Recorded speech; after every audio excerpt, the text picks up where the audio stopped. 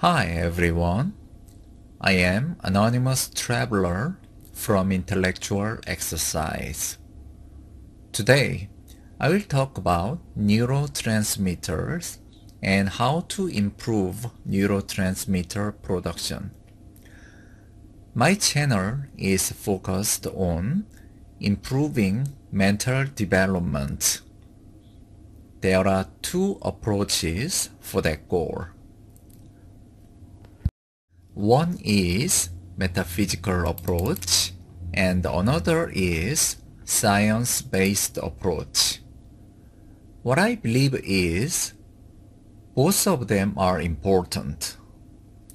In terms of science-based approach, I have discussed diet strategies to maximize mental performance in previous videos.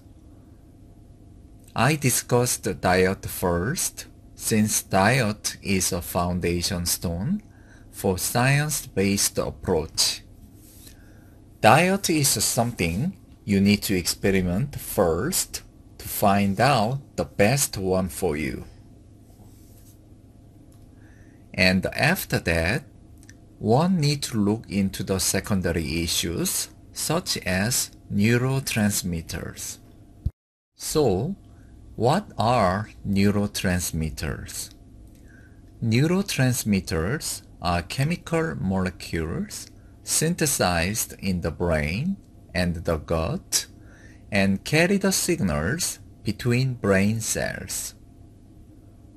So basically, neurotransmitters enable neurons to communicate and exchange important information for our survival.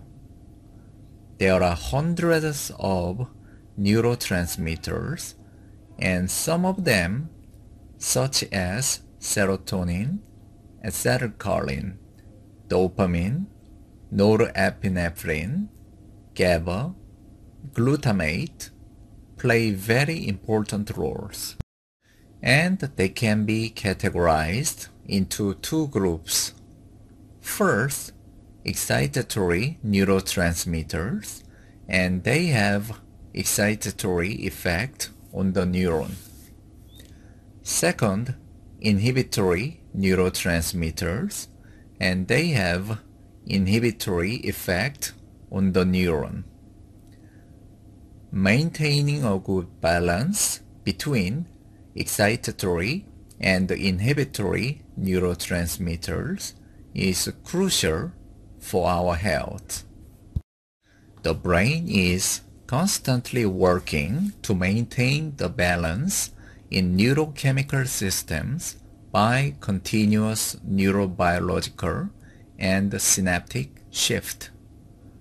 For example, inhibitory neurotransmitters come to the driver's seat before we go to bed, and during the daytime, excitatory neurotransmitters come to the driver's seat.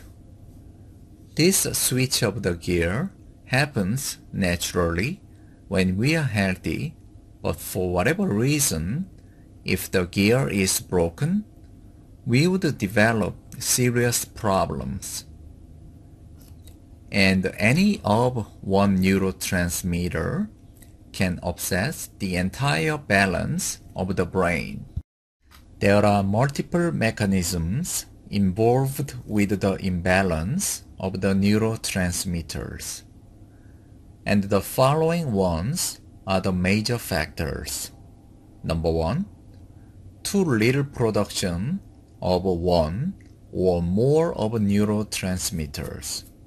Number two, too much production of one or more of neurotransmitters. Number three, premature reabsorbing process of neurotransmitters. Number four, premature deactivation process by hyperactive enzymes.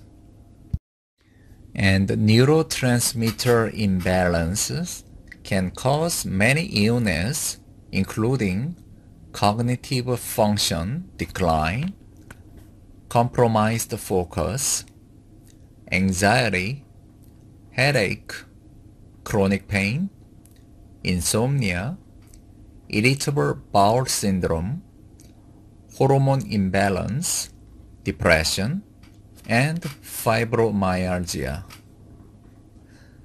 Now, let's look at the main causes of neurotransmitter imbalances. Number one, certain drugs, especially cholesterol-lowering medications. Number two, excessive use of stimulant such as caffeine, nicotine, and alcohol. Number three, prolonged period of stress since it can deplete certain neurotransmitters.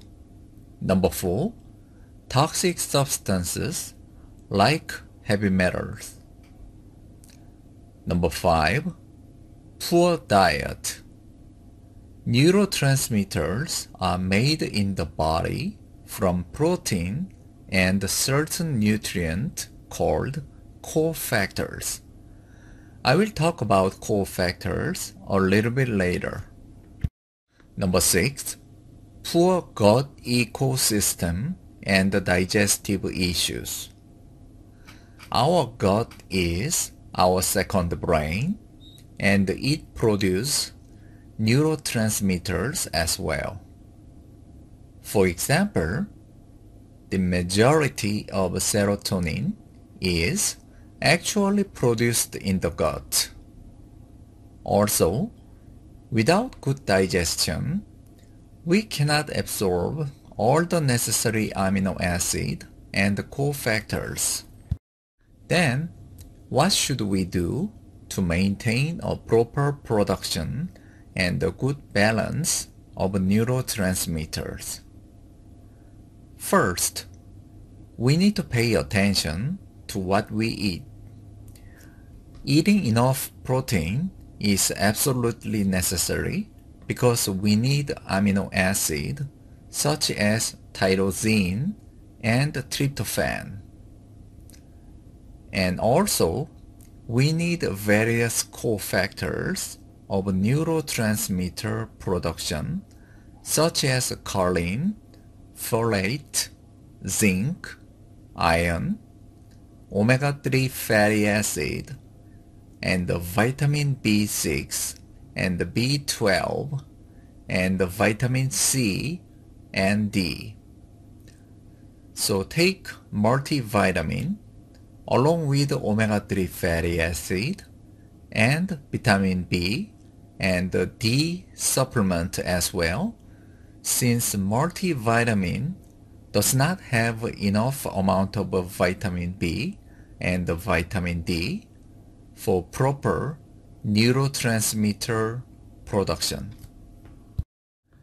Also, getting enough sleep and maintain a regular hour to go to bed is necessary. And regular exercise and yoga helps a lot. And meditation is very useful as well. Since going through a prolonged period of stress is very harmful for neurotransmitter balance, handling stress with meditation is a big help. But meditation also has another interesting effect.